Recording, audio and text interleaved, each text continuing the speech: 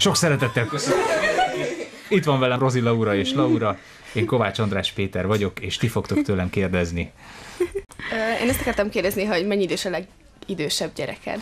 A legidősebb és egyben egyetlen egy gyermekem. Ja. Kölhalmi Zolinak van három, én még nem zárkoztam föl hozzá.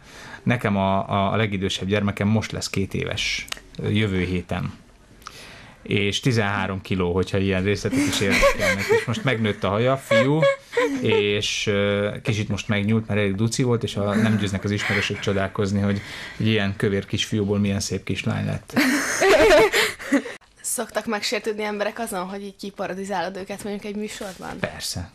Persze, hogy szoktak, de nyilván nekem is jó ízléssel kell ezt csinálnom, meg azért nem, vannak bizonyos határok, jó ízlésbeli, meg egyéb határok, de, de, de a humor az, az mindig, mindig, sajnos mindig valakinek a rovására szól, vagy a sajátomira, vagy valaki máséra, de nincs olyan humor, ami valakit ne bántana valahogy.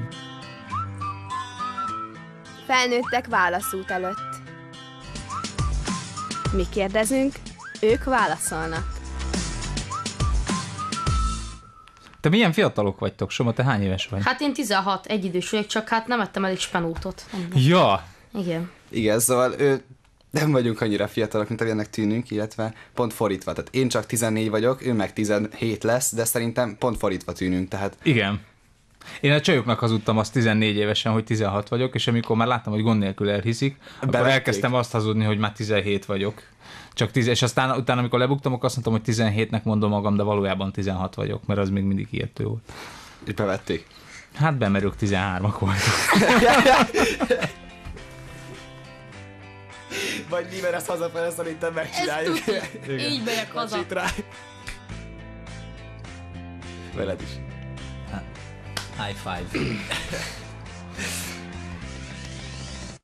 Igen. És hogy a, a nézőközönség, ők itt tényleg nevetnek így rendesen, vagy van ilyen betapsoltató? Nincs van. semmi. Hát a tév, tév, nem, hát van egy tapsgép, ami, egy tapsfény, ami néha villan, de hát általában a nevetés az, az mindig őszinte. Neked miért van benne a telefonod a noteszedben? Hát azért, mert Soma. így. így nem látják, Nem hogy... látják, és így azt hiszi anyukám, hogy valamit írok, és közben játszom. Meg a tanár az órán. Fú, de cseles. Nagyon, nagyon trükkös.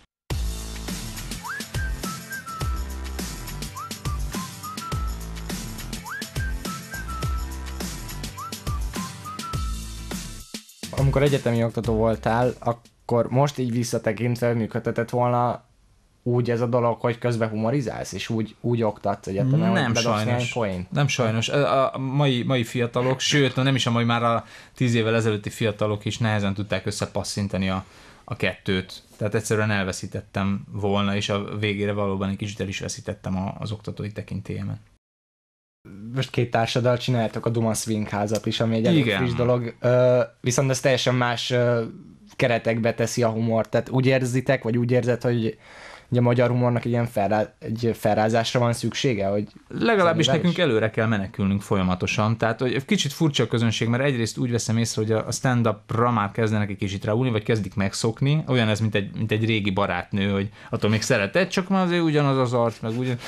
Tehát ugye ugyanígy vannak velünk is stand is, hogy egyrészt azért igényelnék az újat, másrészt viszont viszont félnek az újtól. Tehát a régit már unják, de az újra még finnyognak. És ez, a, ez, ez van a Duma Swingházzal is, hogy még idő kell annak, hogy beinduljon, viszont ott még megvan ez az élmény, hogy úristen, na, ezt nem gondoltam volna. Tehát akik eljönnek, azok tényleg olyat kapnak, amire még korábban nem volt példa.